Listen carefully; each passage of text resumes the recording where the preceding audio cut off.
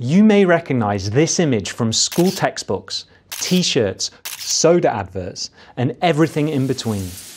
But what if I were to tell you that if we're to be honest with the evidence that we have, this picture should look more like this? Let me explain. On the left is what is believed to be the first ape, known as proconsul, and on the right is a human called Homo sapiens. But what scientific evidence is there for everything else in this image? The transitional species. Let's find out. We'll start with Homo neanderthalensis. You might know him as Neanderthal man. Recent discoveries have shown that Neanderthal man made and wore jewelry, played instruments, used tools, and wore makeup.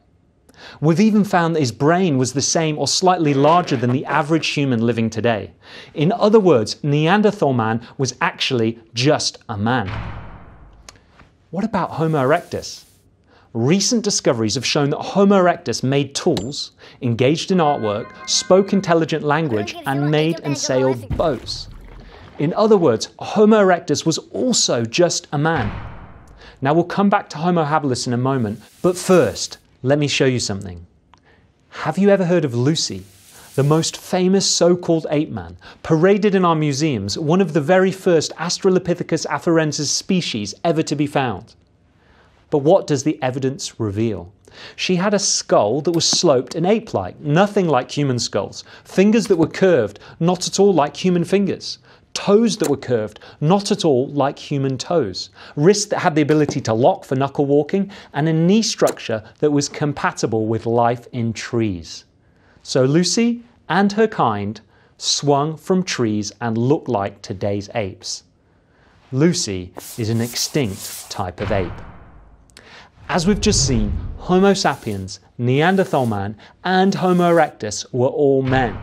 Australopithecus afarensis and proconsul were both apes. Considering the ubiquity of the evolutionary icon, we'd really want to see some strong evidence for Homo habilis, the pivotal point of transition between stoop ape and upright man, between basic instinct and intelligent thought, between animal noise and intelligent speech. The only problem is, in the words of Ian Tattersall, Homo habilis is a wastebasket taxon little more than a convenient recipient for a motley assortment of hominin fossils. Other scientists referred to him as a garbage bag because the bones we have for him are a mixture of human and ape bones. In other words, Homo habilis never existed. I think evolutionary professor Bernard Woods sums this up well. Our progress from ape to human looks so smooth, so tidy, it's such a beguiling image that even the experts are at loath to let it go. But it is an illusion. With the lack of evidence and agreement on the ape human transition forms, why is this not happening? Or this? and is a better explanation that man and apes have always coexisted and reproduced according to their own kind, as stated in Genesis 1.